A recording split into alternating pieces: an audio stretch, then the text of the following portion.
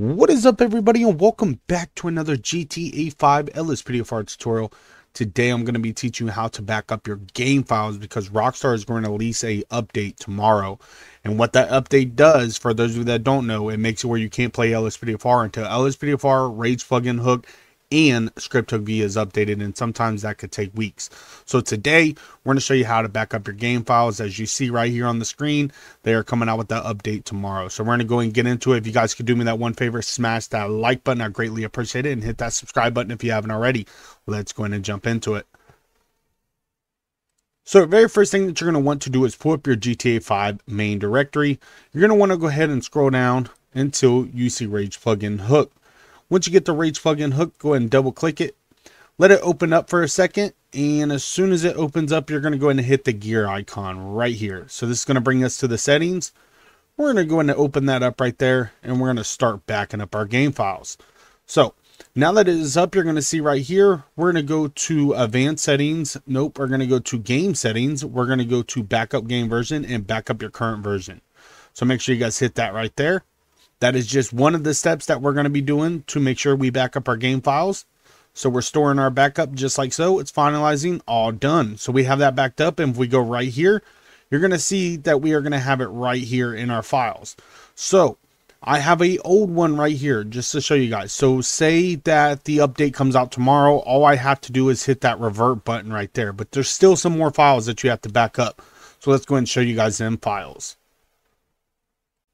All right, so the very next step is backing up your GTA 5 files. To do that, you need to be on your Grand Theft Auto 5 main directory. So go to your Grand Theft Auto 5 main directory. Once you have it pulled up like I do, go ahead and minimize it a little bit. Go to your desktop or anywhere you want to put this folder because you're going to be dragging and dropping files into it. So what you want to do is you can right click on your PC on your desktop, go to folder, create a new folder. I named mine GTA 5 files. You can name it whatever you want. Does not matter. Just remember what folder you're going to be putting this stuff into. And then what we're going to do is we're going to go ahead and go to our GTA 5 main directory. We're going to go and scroll down and we're going to find any file that has the GTA 5 logo next to it. We're going to go ahead and highlight it. So I'm going to hit left control and I'm going to click on all these files. So there's only going to be five of them.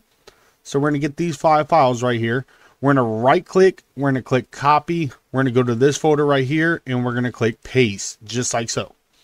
So you have them five files inside that folder and you're going to see right here we have all five of them files. Perfect. That's exactly what we need. So the very next step that you're going to be doing is you are going to go ahead and scroll up.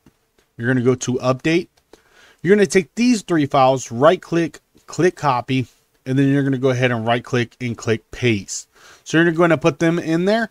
So they are all going to go in this folder. So just remember where you put them. Okay. So they should all be in this folder right here. So when the update does come out, okay, as soon as the update comes out, what you guys are going to be able to do is you're going to be able to open this folder up and drag and drop these files back in here. Your five GTA 5 files that we dragged over there with the GTA 5 logo. And then you need to go back into this update folder and drag and drop them files that we dropped in here back into here. And then, like I showed you on Rage plugin hook, you're going to want to revert Okay, so when when this comes out and this update comes out, I'll show you guys how to put the new files in. So I'll make a new video for that. Basically, what we did today is just showed you how to back them up. So you guys are ready to go ahead and play LSPDFR once this update comes out. You're going to be just like the rest of us on YouTube that are playing LSPDFR and you guys are I get so many questions on like how are you playing LSPDFR? You guys just did it. So your game is backed up. Thank you all for coming by and watching. And uh, we'll see you all in the next one. Stay blessed, stay safe out there. Do me that one favor hit that subscribe button if you haven't already and smash that like button. Show some love. We'll see you all in the next one. Peace.